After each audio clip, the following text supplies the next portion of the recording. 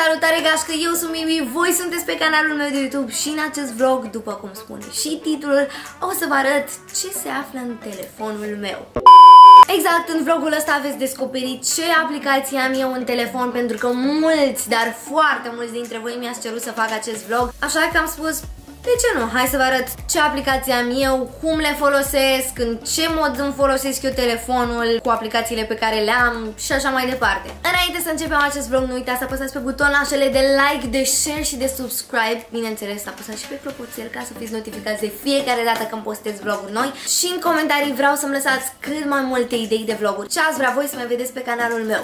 Citesc comentariile voastre, așa că lăsați cât mai multe comentarii dacă vreți să primiți o inimioară. Și ce vreți voi să facem, aia facem. Într-un vlog la fel v-am cerut să-mi lăsați multe idei și mulți mi-ați spus că vreți să facem ce se află în telefonul meu. Așa că hai să-i dăm drumul. Am foarte multe aplicații pe telefon pe care nu le folosesc, dar hai să o luăm cu începutul. Deci așa arată telefonul meu când îl deschid, bineînțeles este o poză cu mine și cu baby, pentru că atunci când deschid telefonul vreau să-mi fie drag și să zâmbesc. Apoi când deschid telefonul o altă poză cu mine și cu baby. Eu una consider că imaginile pe care ți le pui pe ecranul telefonului ar trebui să-ți dea o stare super bună, adică eu de asta cred că sunt concepute wallpaper-urile. Nu știu câți dintre voi știți, dar eu sunt mare fană iPhone. Nu știu, îmi place foarte mult Apple-ul, iOS-ul, absolut tot la el. Mi-am lăsat cât un slide liber, apoi mi-am pus aplicațiile. Haideți să începem cu bara de jos. Am eu aici ce folosesc cel mai des. Bineînțeles, telefonul, cred că cu toții trebuie să avem la îndemână telefonul, să putem să apelăm cât mai repede.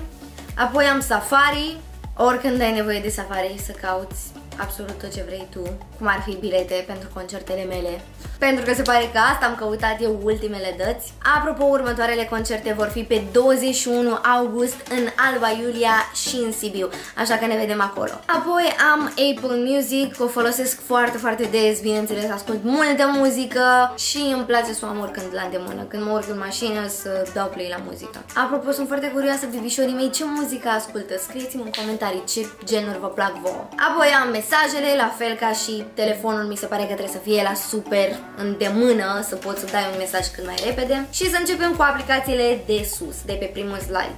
Am calendarul pe care nu prea îl folosesc, sincer să fiu, să-mi programez toate nebuniile. Puteți să mai vedeți aici cât o bulinuță așa, mi le pun rare ori. În rest, toate activitățile, concertele și toate nebuniile mi le trec pe o agenda când mi-e mult mai ușor. Continuăm cu aplicația setări. Na, nu știu ce ar trebui să vă zic la aplicația asta.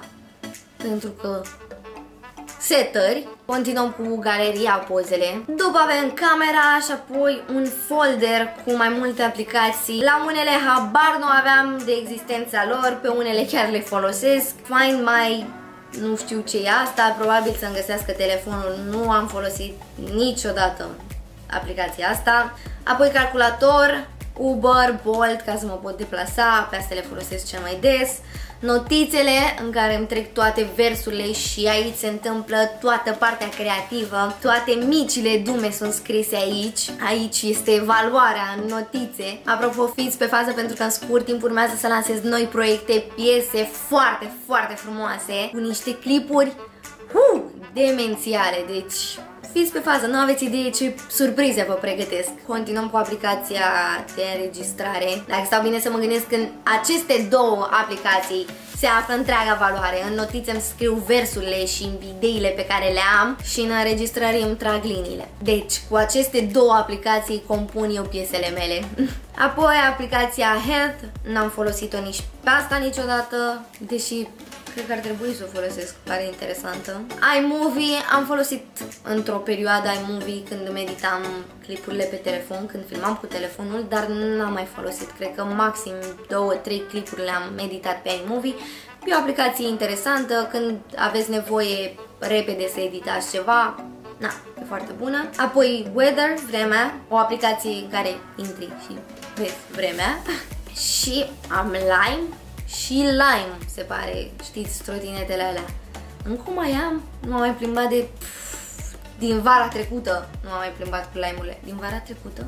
Nu știu, în fine, oricum, ba nu, din primăvară. Nu m-am mai plimbat. Da, știam eu de ce o păstrez aici, pentru că am momente în care sunt pe afară și văd un lime și mi iau, așa că nu am șters aplicația asta de când mi-am instalat-o. Am păstrat-o aici, ascunsă, undeva. Apoi avem aplicația ceas, de unde îmi pun eu toate alarmele. Puteți să vedeți că am aici toate alarmele posibile, de la fiecare oră posibilă și imposibilă. Jesus, eu acum văd. Ok, și nici nu am de gând să le șterg, pentru că mi-e mult mai ușor când intru în alarmă, apăs doar pe ora pe care mi-o doresc și gata, nu mai trebuie să setez. Stai să mi le anulez că mă trezesc mâine. Îmi sună telefonul la 8.50. Apoi App Store, aplicația de unde mi iau toate aplicațiile. După avem un dosar, la fel, cred că cu multe aplicații pe care nu le-am folosit, dar hai să vedem. Avem aici Wallet, cred că de aici se pun cardurile. Da, mă gândeam să-l folosesc la un moment dat. După avem Files, aici îmi descarc eu toate piesele pe care le primesc de la studio, demo-urile și așa mai departe și apoi le ascult în mașină să văd cum sună, să văd ce mai am de modificat la ele și în files mai am și uh, câteva documente pe care le-am primit de la școală, cu lecții, când făceam școala online sau proiecte pe care eu le-am făcut și a trebuit să le încarc în această aplicație și să le trimit mai departe. După avem Google Maps, eu îl folosesc foarte des, mai des decât Waze, sinceră să fiu, nu știu de ce. Apoi uh, Yahoo Mail, dar cred că am și Waze. Da, am și Waze. Nu, le folosesc pe amândouă. Apoi am Yahoo Mail, aici îmi citesc toate e-mail-urile și așa mai departe. Apoi am două aplicații pe care le folosesc pentru bancă. După am Cinema City, aici vedeam programul filmelor din cinematografe. Acum, na, sunt închise, deci nu știu de ce o mai păstrez, dar o țin aici în caz de absolut orice. Oricum îmi era tare folositoare aplicația asta pentru că vedeam la ce ore sunt filmele pe care îmi doresc să le văd. Nu sunt închise cinematografele. What? Stați un pic, eu n-am mai intrat de mult pe aplicația asta. A, nu, recomandări TV. A, da, aici vedeam și programul posturilor TV, în ce filme sunt, ce emisiuni sunt la orele la care voiam să mă uit la ceva nou. După avem uh, Collect, ăsta e WeTransfer de fapt, aici îmi încarc fișierele și le trimit mai departe. Mai avem un slide, avem aici Glovo, mâncărică, bineînțeles. SoundCloud, de aici mai pun type beat-uri și uh, creez muzica mea. Mă ajută să am un beat și să creez pe el, să-mi fac liniile mele. Apoi aplicație pe care cred că am deschis-o de maxim două ori, mi-a plăcut, am păstrat-o, nu știu de ce n-am șters-o pentru că n-am folosit-o o chestie cu astrologie, drăguț, I don't know, mi s-a părut interesantă, mie îmi plac chestiile astea. Așa, după am Drive, la fel ca WeTransfer, îmi încarc fișierele, de obicei aici pe Drive mi le încarc pe cele care au o dimensiune mai mare. După am Farfetch, cred că am zis bine, o aplicație cu haine, nu știu de câte ori am folosit-o, nu prea sunt eu cu shopping-ul online, dar mi se pare o aplicație care are de toate. După Waze, cum vă spuneam, dacă ieșim din acest uh, folder, avem YouTube Studio. Aici mă uit la statisticile mele de pe YouTube. După am aplicația Kiss FM, mi-am descărcat aplicația asta. Când piesa noastră a mea și a lui Baby a intrat pe Kiss FM, toate fostele s-a difuzat și încă se difuzează la Kiss FM. Eram și încă suntem super entuziasmați, așa că mi-am descărcat aplicația să prind uh, piesa atunci când este la Kiss FM. După am chestionare pentru că urmează să facem școala de șoferi. Mulți dintre voi ați văzut că mi-am luat mașinuța. Nu vă spun mai multe detalii, o să fac vloguri, vă promit, cu mașina mașina și o să vă arăt ce dotări are ea și cum este și toate nebuniile care vă interesează. Însă momentan n-am vrut să vă arăt așa mult, dar nu puteam nici să nu vă arăt pentru că eram prea entuziasmată. Am zis că o să vă arăt mult mai multe după ce termin școala de șoferi. Momentan am fost super prinsă cu multe, foarte multe proiecte. O să vedeți, vă așteaptă multe surprize, dar în scurt timp o să vedeți vlogurile alea blană cu mașinuța mea. După am Triviador România, cred că singura aplicație ca și joc joc. Mă mai jucam așa din când în când cu Baby, ni se părea fan pentru că noi suntem foarte, dar foarte competitivi și uh, era foarte amuzant să ne jucăm. În carantină ne jucam noi Triviador, eram în telefon unul cu celălalt și ne jucam și era foarte amuzant. După am aplicația WM U, o aplicație pe care mi-am instalat-o, nu știu de ce n-am șters-o. Am multe aplicații pe care nu știu de ce nu le-am șters, pentru că nu prea le folosesc.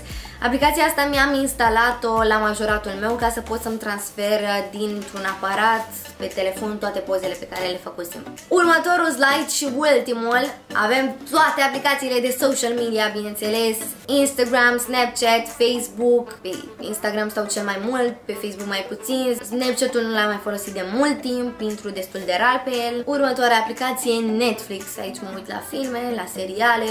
Dacă aveți recomandări de filme sau de seriale, lăsați-mi-le în descriere pentru că atunci când o să am nevoie să mă uit la un film și nu o să știu la ce anume, o să intru la vlogul ăsta în comentarii și o să mă uit. După am WhatsApp, aici vorbesc cel mai des și cel mai mult, cred, după, bineînțeles, YouTube, nu trebuia să lipsească YouTube-ul, platforma pe care postăm acest vloguleț. După Pinterest, îmi place foarte mult aplicația asta, mă uit destul de des în ea, îmi place foarte mult, mi se pare super interesantă. După avem TikTok, apropo vă aștept și pe contul meu de TikTok, exact cum sunt și pe Instagram, bibi.official. Încerc să fiu cât mai activă, deci hai cu un follow acolo. După avem Messenger, nu vorbesc mai deloc pe Messenger, nu știu de ce țin aplicația asta, dar e ok. În fine, continuăm.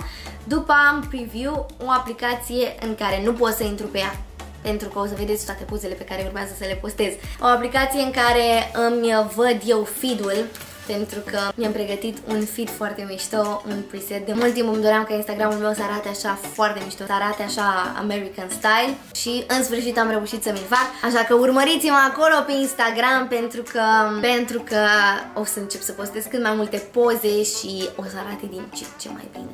Nu că nu arăta bine, îmi plăcea foarte mult cum arăta și înainte, dar mi-l doresc eu într-un fel anume și mi-am creat eu presetul meu. Poate dacă vă place și o să aveți curiozități despre cum mi-am creat eu feed-ul, o să facem chiar un vlog special în care să vă povestesc cum mi-am ales eu presetul, cum mi l-am creat, ce am făcut și așa mai departe. Dar să revenim la tema acestui vlog, ce aplicație am în telefon. Am Shazam după. Mereu când aud o piesă foarte mișto, aplicația asta mi-e super la îndemână, o deschid și îmi găsește instantaneu piesa pe care o ascult și îmi place, dar nu știu exact ce piesă este. Și după am un folder în care am toate aplicațiile cu care meditez eu pozele. Dar nu vreau să-l deschid încă. Poate o să facem un vlog special despre acest lucru Uh, cum meditez eu pozele și o să vă arăt mai exact ce aplicație am și în ce fel le folosesc eu. Până atunci, acesta a fost vlogul, v-am arătat ce aplicație am eu, dacă vreți să deschidem folderul secret, mă rog, folderul cu aplicațiile pe care le am eu uh, în materie de editare a pozelor, scrieți-mi la comentarii ca să aflu dacă vă interesează acest lucru. Eu am fost Bibi, nu uitați să apăsați pe butoanele de like, share, subscribe, hai să strângem cât mai multe like-uri la acest vlog, nu uitați să vă abonați la canalul meu de YouTube dacă încă n-ați făcut-o, să apăsați pe clopoțel ca să fiți notificați de fiecare dată când postez vloguri noi. Eu v-am pupat tare, tare, tare! Mua! Și ne vedem data viitoare. Pa!